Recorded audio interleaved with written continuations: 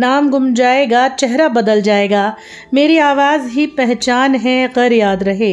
ये आवाज़ तो आपको याद ही होगी, क्योंकि आज वो आवाज़ हमेशा के लिए मौन हो गई। वो भारत की आवाज़ थी, वो आवाज़ जिसने अपने गानों से दुनिया को रुलाया, प्यार करना सिखाया और अपने इंसानी भावनाओं के हर पहलू को छुआ।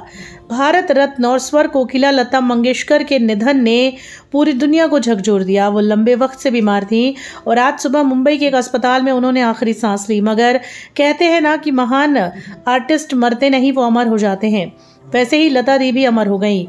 ये खबर सुनने के बाद उनकी छोटी बहन आशा भोसले का रो रो कर बुरा हाल है। और वो अपने आप को बिल्कुल भी संभाल नहीं पा रही हैं, क्योंकि आशा भोसले अपनी बहन लता मंगेशकर को बहुत मानती थी। वो उनके करीब थी। वो उन्हें अपनी माँ की तरह मानती थी, मगर उनके इस तरह चले जाने के बाद आशा भोसले बुरी तरह टूट गई हैं।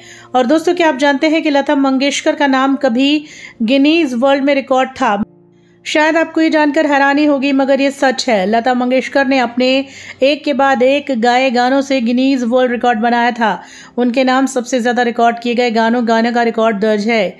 लता मंगेशकर के इस वर्ल्ड रिकॉर्ड को उनकी छोटी बहन और दिग्गज सिंगर आशा भोंसले ने तोड़ा था। साल 2011 में उनका नाम गिनीज बुक ऑफ़ रिकॉर्ड में सबसे ज़्यादा गाने रिकॉर्ड करने वाले सिंगर के तौर पर दर्ज हुआ और आधिकारिक रूप से बताया गया था।